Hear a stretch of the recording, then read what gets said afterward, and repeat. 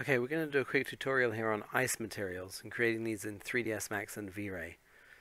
So these are three ice materials we've used in the office recently, created by artists there.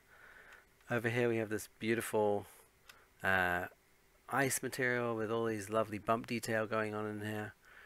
The next one over here, you have this bear, and this is typical ice which you see, uh, which is a bit frosted, maybe used in drinks and so on and so forth.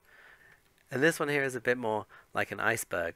You have these details in here, this bump detail, and you have a lot of stuff going on here. This is also a beautiful ice material.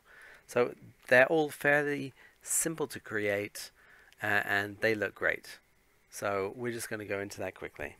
Uh, first off, I wanted to show you the scene which I'm using. It's fairly simple. We have an HDRI here, which has light coming in through these windows and hitting the objects here in the scene. We have a camera right here, which is taking the shot, and these lights are left over from a chandelier which I've removed from the room. It's got a simple floor created with floor generator and that's basically the room.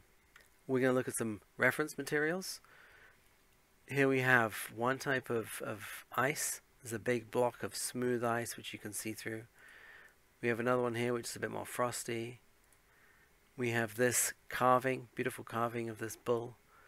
These ice cubes, more ice cubes carving here of a kingfisher. This frosted ice and the clear ice. Again frosted and clear. This husky here. So those are the reference images which I've been looking at in relation to this ice. Okay, let's take a look at the materials themselves. The first one is this one here. It's fairly simple. It was created. The artist put in these real world scale. 1800 by 1800 and if you view this image it looks like this. Now this is one from Evermotion uh, but this is a seamless looks like a dirty kind of metal texture so if you go into Google and you look at seamless metal texture and images and then if you click on tools size, you really want something not too small. You could create something simple, something similar with these. Any of these taken in Photoshop and edited could look similar to the, the image which I've used there.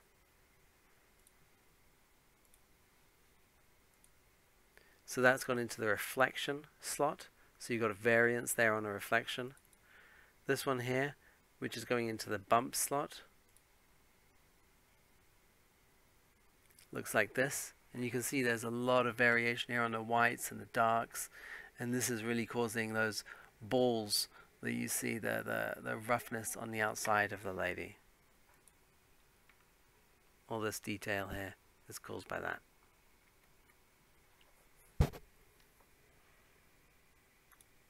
Now, this one here is 1200 by 1200 and you'll remember the last one here was 1800 by 1800 with use real world scale selected. Now what this means is because these are different they're not going to overlap each other perfectly so they're going to cause a difference in the surface so you're not going to see the same thing again again again again again again. Now because she isn't a box she's a very random shape I've put these in through V-Ray triplanar textures here and this I've left the size at 1 and that size of 1 means to really just pay attention to the size here on a bitmap loader and that's the exact size which they want to be. The blend is 0.1 and it's the same here on both of these 1 and 0.1. Now if we look at the material itself the material has nothing in a diffuse slot as diffuse isn't being used at all in this one. It is in the other two ice but not in this ice. Uh, reflection has the map in it. Reflection glossiness is set at 0.76. Reflect on backside is ticked. Now if you look here at this reference image here, reflect on backside means that the material when it renders is going to calculate the reflections on the back of the glass. So the reflections of this guy's hand on the other side of this glass, the reflections here from the windows on the other side of the glass, those are going to be calculated. If you think of something normal, like let's take this hand here, you don't need to calculate the reflections on the back of that, the reflections that the, the camera doesn't see, because nothing sees them. So by default that's checked off, but for glass materials you need to turn on reflect on backside, and it's right there. Now with this with this one, Fresnel is off. Refraction is set all the way up at 255. Reflective glossiness is left at 1.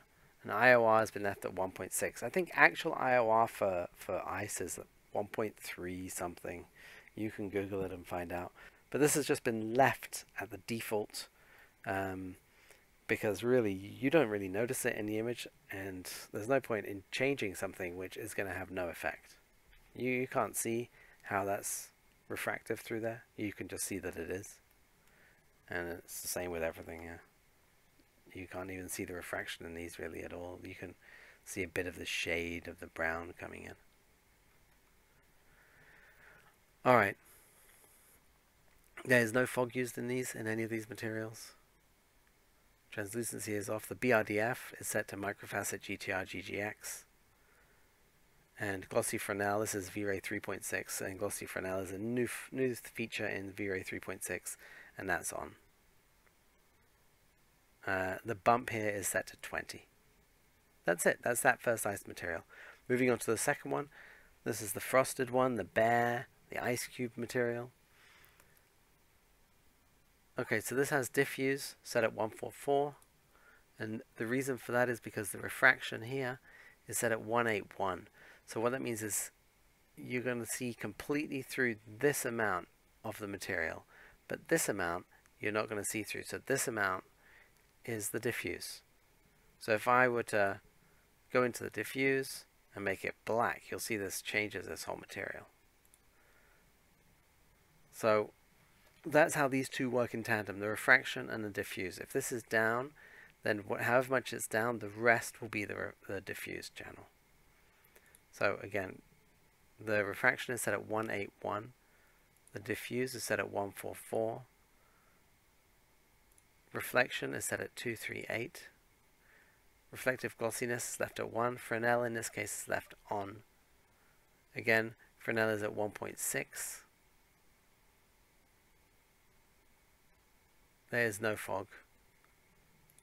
BRDF is left at microfacet GTR GGX and glossy Fresnel is on. Now, one other thing you need to know about this, really for glass and things like that, if you have a lot of refractive items, one after the other, after the other, after the other in a row, it has to calculate the refraction, the reflections of one on the other, on the other, on the other, and refractions of one on the other, on the other, on the other. And that's what this max depth is here, and this max depth. It says you can go through 15 of the same item again and again and again and again before you stop calculating. And same on the refraction. You can go through 15 items before you stop calculating. So that's really what that is. Moving on to the third material. This one is a modified version of this one. Now, the bitmap here is an iceberg. and it works really well. So the size of this is 1100 by 1500. Oops. The reflection value here is 238. The refraction value is 206. Reflect, reflective glossiness is left at 1. Refraction glossiness is at 0.85. I'm not sure if I covered that on this earlier one. That's at 0.9. And this is important because this is used for um, making frosted glass and things like that. So normally for frosted I'll set this at about 0.7, maybe 0.75 and you'll see this will change. See how it becomes like frosted glass. So we're just going to undo that. This one is at 0.85. There is no fog. The BRDF is microfacet GTR GGX and glossy Fresnel is on and the bump in this case is set to 30. I'm just going to check here the blur amount on this. This is left at 1. That's left at 1. and that's at 0.5. And that can be important if you increase the blur amount, the details in the bitmap will start to disappear. So if you look at the render, you've got all these details and these will start to blur out as that blur amount goes up and becomes higher. And that's really it. Those are the three different ice materials and I hope this helps you in quickly creating some ice materials for your scene.